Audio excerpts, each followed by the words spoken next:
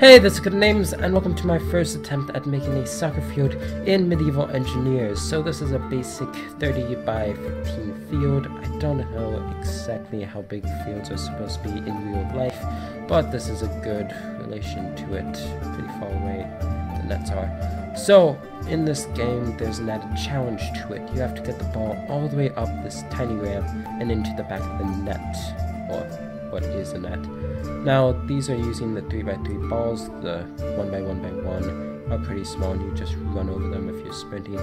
But they're actually kind of hard to control. I'm actually doing pretty well with this one, but we're going to the side.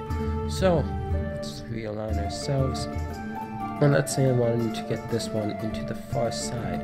And using only first person, I'd run, I'd run, and down. It's not there, it's rolling to my side very interesting physics with this because your character, I believe, is two spheres, not spheres, two oblong things. You can look into that using, I think, the meshes from Space Engineers allow you to see it's a oblong sphere and a sphere on top of that for your head. But a little bit too much on that.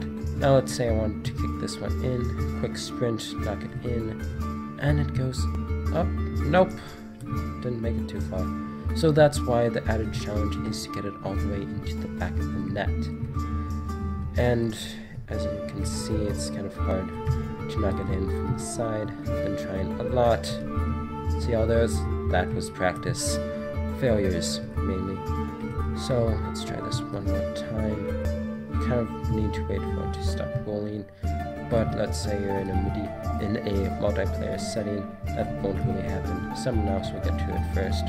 So it's kind of a rushed game, and probably a few goals being scored, like most soccer matches. And nope, I'm not sitting on top of it. Also, when you're putting these down, you're going to want to use the J key so that it just floats there on one. And then actually has physics. If I were to do that, it would be stuck in the ground. And I can't run over this one. The small ones you can. Little pebbles. you can make a whole cobblestone. Huh? Cobblestone. cobblestone. And leg. So, that's about it if you ever load back up. Oh, loading. Yep, cobblestone. That's so funny. But, I think that'll be it. And I'll see you in the next one. I make a house out of cannonballs!